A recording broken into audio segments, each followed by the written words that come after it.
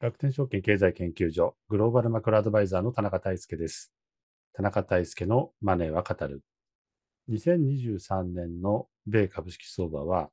生成 AI というテーマなしには語りません。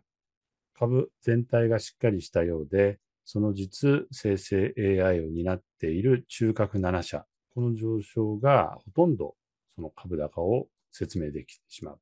こういう場面だったんです。ですから、ナスダックが上がっている、あるいは SP500 が上がっているといっても、その9割方は、この7社の上昇であるという展開なんですね。非常にこれは悩ましい事態で、ここに集中的にお金が集まってしまう。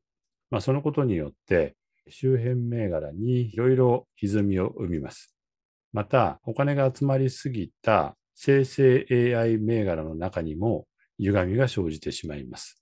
ですから、大きなテーマで、引き続きここが狙い目であろうということはわかるんですけれども、その歪みというものについてきちんと認識をして、そしてその中でトレンドを捉えていく。そしてそのトレンドが周辺にどういう影響を及ぼしていくのか。まあ、そういうことをきちんと踏まえて見ていかないと、この人気テーマ、まあ、ちょっとした罠にはまりかねないというところがあります。テーマは、米国株生成 AI の重力で相場の時空が歪むということです。限られたところにお金が集まりすぎることによって、先ほど申し上げたように、その周辺部の銘柄、業種にも影響が及びますし、生成 AI 銘柄自体もその重力で歪んでしまうというところがあるんですね。そのことについてお話をいたします。なお、この動画の中では個別銘柄についても言及をいたします。ただ、それは動画としての推奨ではありません。あくまで相場力学を見る上での題材としての取り扱いということになります。投資の判断というのはご自身の責任においてなさってください。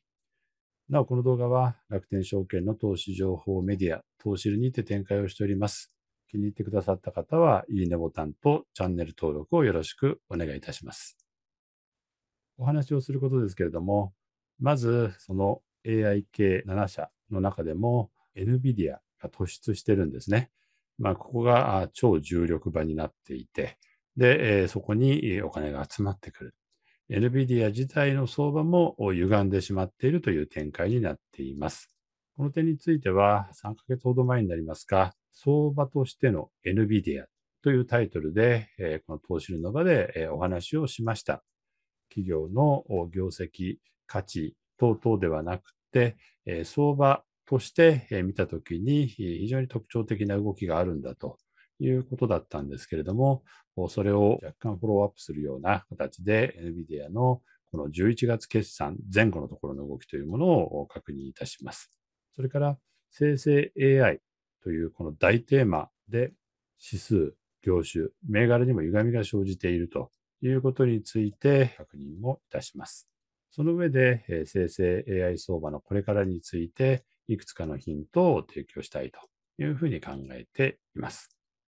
まず、NVIDIA から見てまいります。ものすごい重力場であるということなんですけれども、左の図ですね。これは2023年に NVIDIA 相場、どのように推移してきたかですけれども、なんとなく生成 AI らしいぞということでじりじりと上がっていたものが、5月に発表された決算で、とんでもないことになったと。ものすごい数字だっていうんで、ここで2割ほど相場が飛ぶんですね。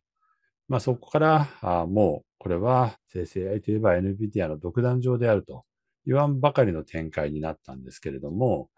見ての通り、最初の1、2ヶ月上がって以降、決算で頑張ろうかと思っても、なぜかそこから下がってしまう。決算は絶好調。アナリストの評価でも、この400ドル台ではなくて、もう1年で600だ、700だっていう予想が次々と出てくるわけです。にもかかわらず、相場として上がりきれないということで、これについて、えー、先ほどの動画、相場としての NVIDIA という回で、この相場にはもう中長期の600、700、そこを目当てに頑張ろうって言ってる投資家ばっかりではなくて、短期的にものすごい相場になりそうだからといって、投機の人たち投機の資金がものすごい入り込んでいるということを申し上げました。中長期の投資家が1回買ってそのまま1年でも3年でも持ち続けようという場合には、これは買った時の上昇圧力がそのままマーケットに残されます。ところが短期の人たちというのは、買って、あわよくば決算で1割も2割も上がったんだったら、そこで売って逃げようっていうふうに思ってるわけです。でも、その投機の人たちで混み合って、で、決算の後、なんか今一つ上がらないなっていうと、ちょっと無理せずリグっておくか。まあ、これで、え、相場が下がってくると、やがて、え、自分たちが買ったポジションのコストに近いところに近づいてくると、ここからもうすごくせわしくですね、もう急いで売り抜けておかなければみたいなことが起こるんですね。それによって相場が下がってマイナスになると、今度は損切りでラッシュになると。まあ、こういうことを何度も繰り返して、相場が絶好調の決算にもかかわらず、上がらないっていう展開になってしまっている。これがまあ最近の状況です。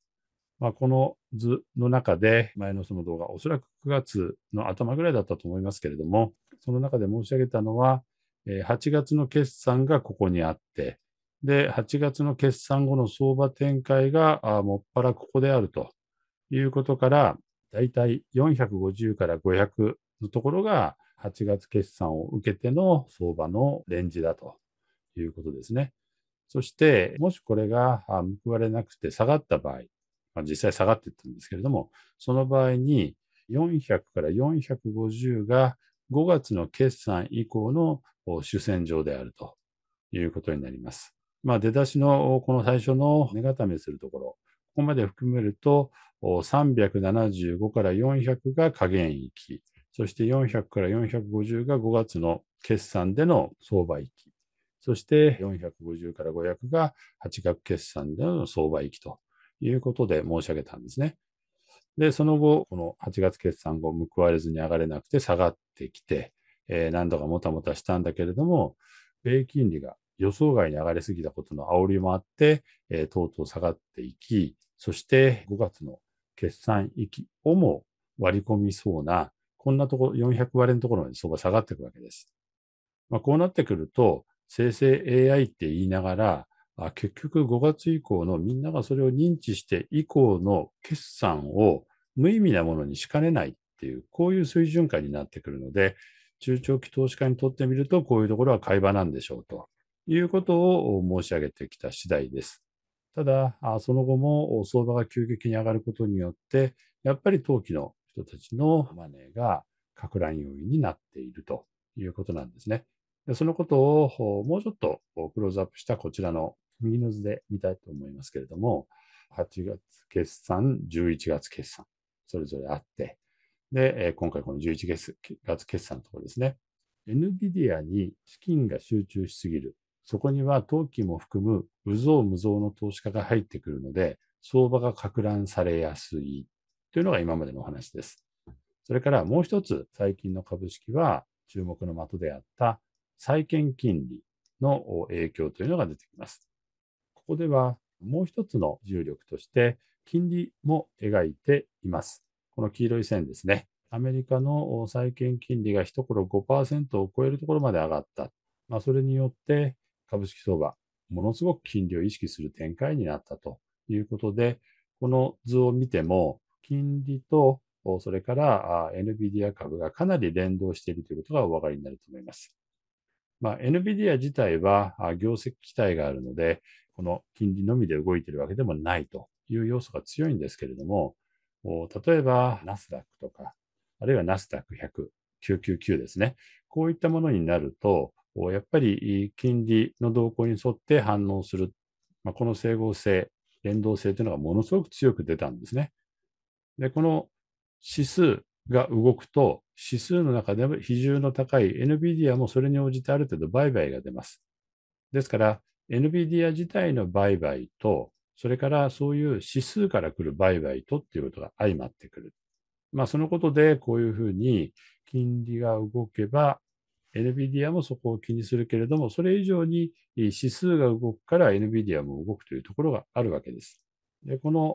11月決算に向かってのところですけれども、11月の頭、FOMC で、えー、ハト派的な配慮が見られた。その後の雇用統計や CPI が弱めに出たっていうことで、金利が低下方向。まあ、このグラフでは逆表記なので上がる方向にこなってますけれども、低下方向に行く。まあ、その中で、えー、NVIDIA 株も上がるということになるんですけれども、まあ、見ての通りで、NVIDIA 上がるときにはあ、決算期待もあって、もう金利そっちのけのようなものすごい上がり方になるわけですが、逆に言うと、ここにもう短期の投機資金なんかも大量に入り込んでいるということが伺われるわけです。ですから、いざ決算発表されましたということで、今回も内容は絶好調。もう相場としては相当いくんではないかと期待されたんですけれども、上がりきらなくって、その後、ストーンと落ちるということになってるんですね。で、この落ちてくるプロセスで、金利を見ていただくと、これ低下してるわけです。で、他の999等々を見ると、この時に株上がってるんですね。上がってるんだけれども、NVIDIA だけは下がってくる。まあ、このあたりは NVIDIA 自体の内部のポジションの影響、投機の人たちが、あわよくば500を超えて510、520って行くんだったら、そこで利益確定売りしたいと思ってたような人が、決算発表後、500ちょっと乗っただけで、あれ、こっから先進まないじゃないかということで、利益確定売り、さらには損切りの売りっていうことをこうしていって、こういう下げ方になったということなんですね。まあ、こういうふうなお金が集まりすぎている。うぞうむぞの投資家が集まりすぎているということによる相場の乱高下というものが起こりやすい。金利のような重要な指標、それとも逆サイドにこうやって動くというところに NVIDIA 独自のポジショニングの問題というのがあるんだということになります。さらにこれもうちょっとクローズアップしていくと、こちらで同じく黄色。これはアメリカの債券10年債を価格で描いています。それと NVIDIA の1時間ごとのバーチャートを並べてるんですけれども、やっぱりこの11月の半ば頃から金利を凌駕する上昇になっているということなんですね。で、その後、債券価格が上がっても、NVIDIA は下がっていくという展開になって、で、なかなかこの NVIDIA 自体の投機的ポジションの重さというのがいかんともしがたいということになったことが伺われます。でこの中でですね、もうちょっとこう短期的なポジション域っていうのを考えてみると、11月のすごいラリーの中で、消費者物価が安かったって言って相場が上がっていく。そして、この480から500の間、この辺が直近のところのポジション域になっているわけです。まあ、とりわけ485からこの500に近いところ、この辺がポジション域としては持ち合い多くてボリュームゾーンになっているということなんですけれども、ここら辺にいる人が、ああ、相場上がらないと言って投げ売りをしたことによって大きく下がる。で、大体ボリュームゾーンの人が投げてくるんだけども、そこが少し手薄になったところで、相場としても一旦下げ止まって戻ろうとするけれども、今度、この辺の人たちが含み損ポジション残しているので、戻り売りがきつくて上がりきれない。それによって相場が押し込まれて、このボリュームゾーン、ポジションのコストゾーンの下のところに押し込まれ気味になっているというのが、この図が示すところです。まあ、こういうふうに過去に作られたポジションが、その後の相場の動きを規定する、制約するっていうことは、これはもう普通の投機的な相場を分析するときの基本になります。まあ、こんな風に決算の中身だけ見れば、600ドルも700ドルもおかしくないじゃないかと。むしろアナリストはそれが目標値なんだと言っているような銘柄なんですけれども、混み合ってしまうと人気テーマの罠といって人気があるがゆえにいろんな資金が錯綜してしまって相場が拡乱される。まあ、こういう事態が NVIDIA という生成 AI の機種、もう本当に先導役として期待される銘柄にも起こっているということなんですね。もうちょっと大きい目で2023年の株式相場というものを整理しておきたいと思いますけれども、こちら、これはコロナ禍からの相場サイクルですね。赤がナスダック、青が SP500、緑がダウになります。2020年コロナ禍でこれに負けちゃいけないっていうんで強烈な金融緩和をしたことで、えー、強烈な金融相場が発生すると。まあ、これはまあ21年いっぱいぐらいまで続くんですね。まあ、その間に企業業績もどんどん上向いていったので、えー、金融相場と業績相場が重なったような展開だということを当時申し上げました。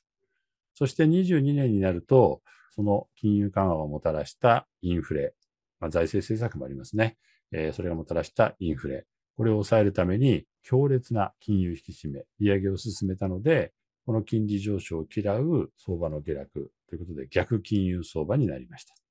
2023年については、この点線で書いてますけれども、強烈な中間半島といって、そろそろ利上げが止まるんじゃないかというところに起こりがちな相場の持ち直しというのを想定はしたんです。だけれども、金利が高いままで、本当に大丈夫か。で、3月には金融危機があって、このまま経済悪化する方向に向かうんじゃないかっていう、そういう見立てをしていたので、この中間半島は中間持ち直しぐらいの緩やかなものにとどまるんじゃないかと思っていたら、先ほどの NVIDIA の決算を契機に、一気に生成 AI というテーマで盛り上がったという、こういう流れになってるんですね。で、その中で、この生成 AI テーマなんですけれども、冒頭でも申し上げた主要7社、これは M7 と書いてあります。M7、マグニフィセント7、壮大なる7社ということで、NVIDIA、それから GAFAM5 社、そしてテスラということになります。で、この M7 を指数化したものが、この右の図のピンクの点線になります。そして、その他の指数を下から描いてますけれども、DAW、SP500、それから、ここではグレーがナスダック、黒が999、ナスダック100です。そして、半導体というのを入れてるんですけれども、まあ、この M7 というのが抜きんでて高くて、で、この7社がその他の指数を引き上げているという展開になっているわけです。ですから非常に悩ましかったのは、私は普段マクロでまず中長期の相場というのを分析します。ところが、そのマクロの元で見るほとんどの株は上がってない。だけれども、そこに生成 AI というテーマが出てきて、そして SP500 の中で25%、30%占めるような、この M7、こういったものが相場が上がっていくことによって、一気に指数を高めてしまう。こういうふうな展開になってるわけです。ですから、それがもしなかったら、生成 AI っていうテーマが2023年になかったら、マクロだけだったらどんな相場になってるんだろう。まあ、こういうことも時々想像するんですけれども、決して力強い中間半島にはなってない可能性が高いというのが私の認識です。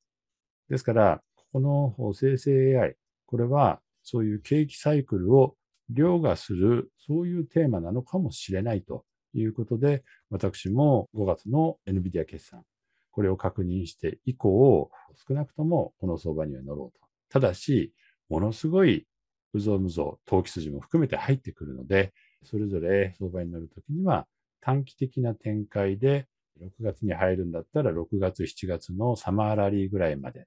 で、8月、9月は様子見。秋になったらもう一相場期待する。まあ、こういうふうなことで申し上げてきた次第です。まあ、本当に難しい相場なんですね。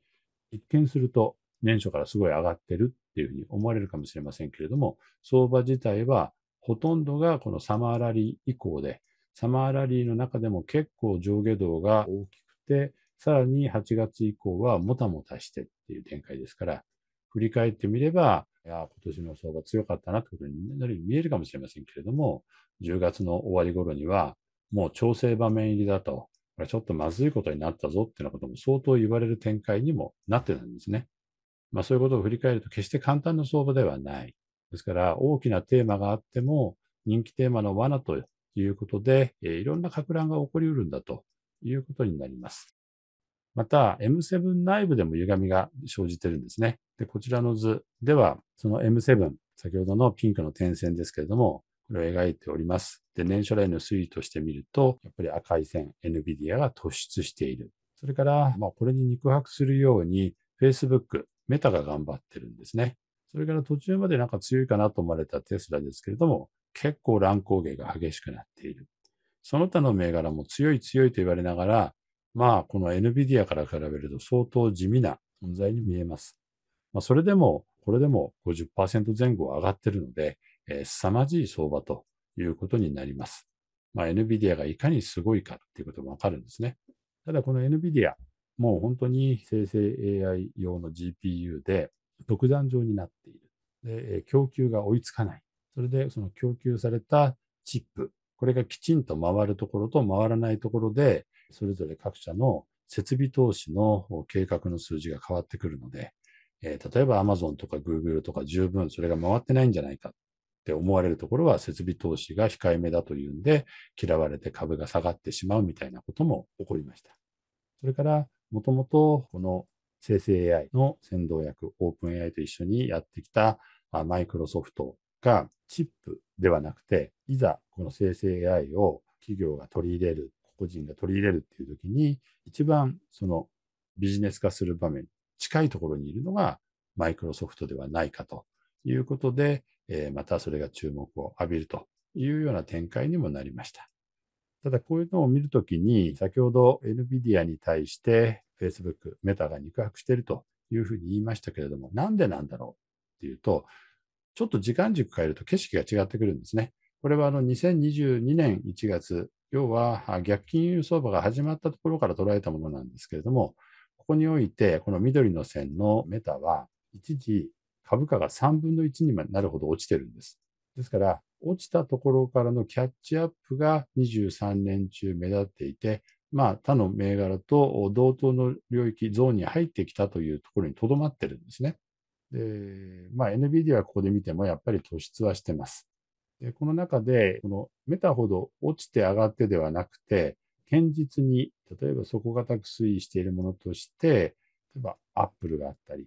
あるいはマイクロソフトがある。特にマイクロソフトは先ほど生成 AI の運用面での機種だというふうに申し上げましたけれども、まあ、最近アウトパフォームするという展開にもなっていると。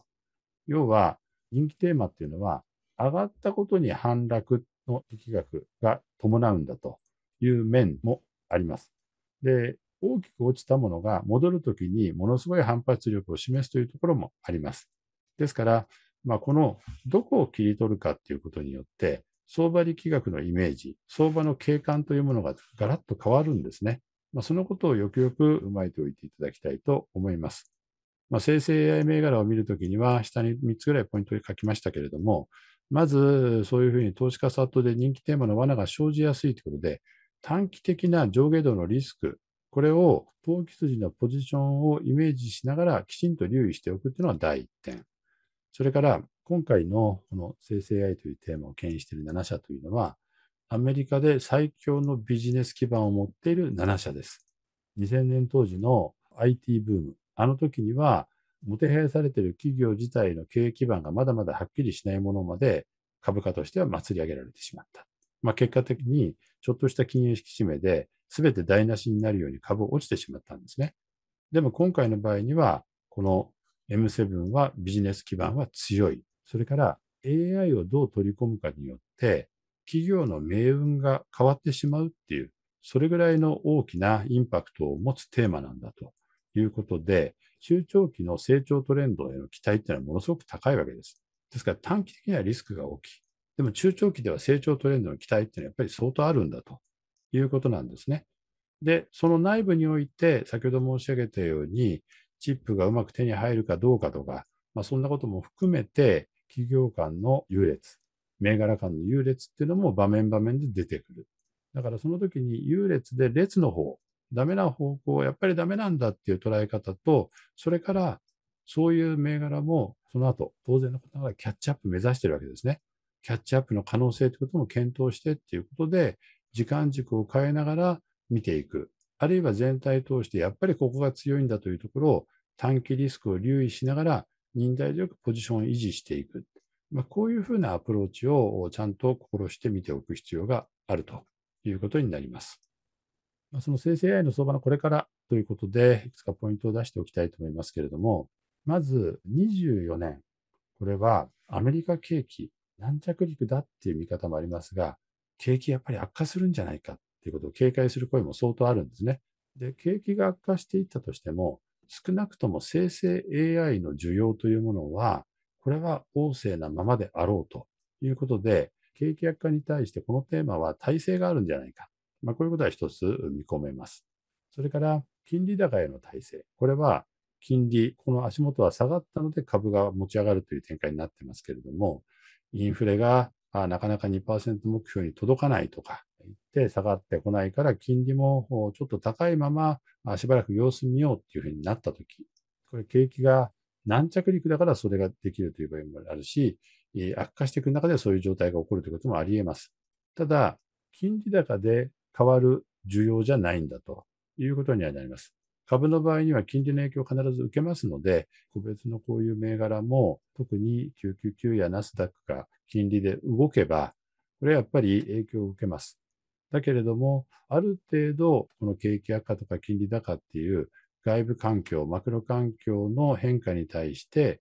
AI というテーマの需要自体は根強いんじゃなかろうかということが思われます。で個別に見ていくと、NVIDIA、チップについてはまだまだ独自上であろうということですけども、今日先ほど来申し上げている短期的にはものすごく格乱がある。まあ、人気テーマの罠ですね。それから長期のトレンドというものがあると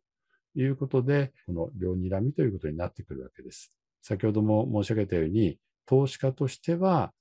この短期の格乱を踏まえた上で、中長期にポジションを引っ張っていくというやり方をするのか、それから、まあ、短期的な上下動も激しいということになると、押されたところで拾ったものが華々しく上がったときに、短期的に利益確定をして、それを繰り返していくというのも一つのアプローチということになります。それからマイクロソフトですね。えー、先ほども申し上げましたけども、生成 AI の活用の機種になってきているということです。これ8月以降の相場展開を描いてますけれども、NVIDIA、えー、これものすごい上下動があるんですね。この上下動があるっていうのは、投資の世界においてはリスクが高いという言い方になります。下がることばっかりじゃなくて、上がるところも含めて、相場の変動が大きくなる。これ本当に対処するのかなり大変な銘柄になってます。まあ、これからすると、このエンジ色のマイクロソフトですけれども、これは比較的上下動が小さいそれでいて、最近はこの上がり方が大きいということで、8月以降の調整試合からの持ち直し展開を見ると、最もパフォーマンスが高い銘柄になっているということでもあるんですね。ですから、まあ、この下がったところからの NVIDIA ってものすごい上がり方ですので、当然のことながら投機にとっても魅力的な対象ということにはなるんですけれども、上がって下がって上がって下がって、決算が良くても上がれない。まあ、こういうふうな込み合い方というものを見ると、果たして投資対象としてやりやすいのかどうかっていう問題が当然出てくるわけですね。ですからリスクが小さくて上がるものを選ぶというのはやっぱり重要な要素にはなってきます。まあ、11月以降のラリーが大きいので、まあ、こういう相場も波動だと思えばどっかでは下がる場面がある。まあ、そういう時に銘柄の見直しをするっていうことの意味合いというものをちょっとここで考えていただきたいと思います。それから他の M7 ですね。出遅れているように見えて、やっぱり将来のキャッチアップへの期待というものはずっと続くんですね。生成 AI のテーマが出てきてから、アップルはほぼ沈黙を保ってます。だけれども、アップルはいずれどっかの時点で我々もということで大きく乗り出してくるんであろうということが想定されています。まあそんなことで、今、この時点でということではなくて、将来にわたる展望ということを考えていく。もともと人気テーマの罠で上下動が激しく出やすい分野なので、その落ちたものがその後キャッチアップするということについても価値をちゃんと見ていくということになります。それから NVIDIA が含まれる SMH、半導体ですね。これも NVIDIA が製品の開発について発表すればするほど、他はついていけないんじゃないかって言って、ちょっと劣勢になったりなんてことも起こりうるんですね。ただ、まあ、一般的なチップの需給というものが24年にかけて、えー、底をする改善していくという、こういう想定があります。それから NVIDIA に負けまいとして、えー、とにかく生成 AI 用のチップの開発を進めている企業もあります。まあ、簡単には追いつかないと言っても、そういうことの一つずつを踏まえていくと、SMH 半導体が見直されるという機運は24年にかけて、やっぱり大きくあるんであろうということは期待されるところです。それから、まあ、生成 AI に限らず過去の半導体サイクルっていうのをこう見ていくと、まずは半導体そのもののチップですね。これのメーカーがもてはやされ、やがてそのチップを組み込むハードの分野も株価としては注目され、そして運用面やソフト面、ソフトウェアですね。こちらの方に関心がいくというところもあります。まあ、この中では今、私は本当に普段マクロしか見ないんですけれども、今回はこの7社で牽引してきた相場なので、この7社からこの半導体サイクルの中でどういうところに次の波及があるんだろうかということで注目している銘柄等々がいくつかあります。まあ、その中での一つとして、これはオレンジ色、サービスナウというのを入れました。サービスナウ。この10月から11月にかけてのこの相場を見ていただくと、オレンジの線ですけれども、ものすごい上昇になっているのがお分かりいただけると思います。生成 AI を導入する企業等がどういうふうにしたらいいのかっていう運用面、ソフトウェアの面でサポートする会社というふうに認識しております。ですから、こういうふうに生成 AI が普及していく中で、だんだんこの裾野も広がっていく。それからその中の序列というものも場面場面で変わっていく。そしてこの生成 AI という大きなテーマ自体は、景気悪化とか金利高に対して耐性があるので、今、神経質になっているいろんな要因ですね。それに対して、このテーマだったら頑張っていけんじゃないのっていうことを期待させるものではあるということですね。で、最後にもう一つ、ここで、繰り返しますけれども、こういうふうに上昇期待が大きいものは、必ずその反落の力学というものを自ら作り出してしまうということなので、上昇期待と変動リスクというのは表裏の関係にあるんだということで、まず考えていただきたいと思います。11月大相場になったって言って、もうそれだけで、えー、年末だからってのことをパッとこう言葉としては出てくるんですね。だけれどもやっぱり相場って波動なんだということを考えると、ものすごく上がったら、本当にこの上がり方っていうのが12月も持続する、そういう目があるのかどうか。その目で捉えていくと、やっぱりその反動による下落ということの可能性というものも見えてくるということがあります。ですから、常に相場は波動であるという、こういう基本感をまず忘れないでいただきたいと思う次第です。そして、生成 AI。先ほど景気悪化とか金利高への体制があるんじゃないかというふうに申し上げましたけれども、中長期的には生成 AI 自体がマクロ経済に対してインパクトを持つ可能性があります。これはすでにいくつかの業種では起こってますけれども、生成 AI にとって変わられた職種、業種の人たちが、こういう職を失うというようなことも起こってるんですね。まあ、生成 AI の導入というのは、大規模なリストラクチャリングを招くということを踏まえて見ていく必要があるということです。場合によったら雇用情勢を悪化させるのかもしれない。まあ、そのことはきちんと踏まえて見ていく必要があるということです。ここで申し上げてきた通りで、とにかく生成 AI テーマ大きいんですけれども、それ自体にお金が集まりすぎることで、生成 AI 銘柄にも歪みが生じる。その周辺部にも影響が生じる。まあ、生成 AI というテーマがなかったら2023年、本当に他の銘柄だけで株高になったんだろうかっていう、そういう金利環境なんですね。その金利環境が落ち着くかどうか、景気が持ちこたえるかどうかっていうことの瀬戸際に来ていて、2024年はひょっとしたらマクロ環境の条件面としては決して良くないかもしれない。その中で生成 AI というテーマが体制を持って頑張れるのかどうかという、こういう視点で、え今私は捉えているということです。